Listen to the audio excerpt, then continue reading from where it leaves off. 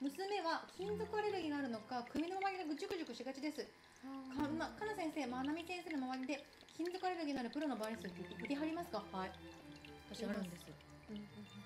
もう熟熟だった。でずっと向いてたこうやって自分で。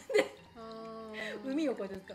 っと。うんうんうん。やってたんだけどあのー、結局何も対策をしなかったんだよへえ薬塗ってはまたジュクジュクし薬塗ってはまたジュクジュクしっていう状態ずっと続けて。当て布をするとさ楽器の音が抑えられちゃうような気がしちゃうの。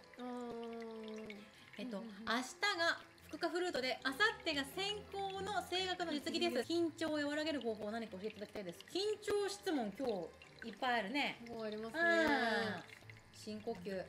うん。深呼吸とあとね私が緊張を和らがる和らぐ時ってピアノの伴奏とかあるのかな？あのもしあるんだったらピアノの人がいてくれるって私は思うかな。メンタル的に。一緒って思う。一人じゃないって思う。へえ私始まれば終わるって言って。言い聞かせて乗り切ります。はい次いきます。えっ、とバイオリンの E 線の調弦は一番難しいのでしょうか？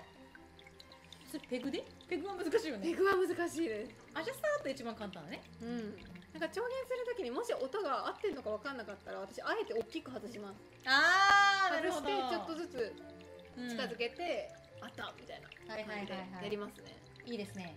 もう一個ご質問させてください。好きなバイオリニストはどなたですか？あまたこれあれだね。はい、外国の方でしたらオイストラフ、うん、日本人だったら樫本大臣さんが好きです、で私は男性だったらギルシャハム女性だったらビクトリア・ムローバーがすごく好きです、はいえっ、と質問。よく大学を卒業卒業というのを目にしますが卒業コンサートに出たら次で卒業になるのですか？じゃないと思うよ。じゃないです。その卒業コンサートのラストだったら素敵です、うん。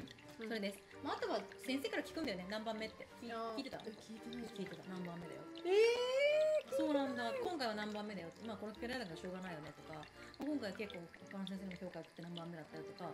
シビアーって思ってたー、えー、聞いたことないです。えぐられる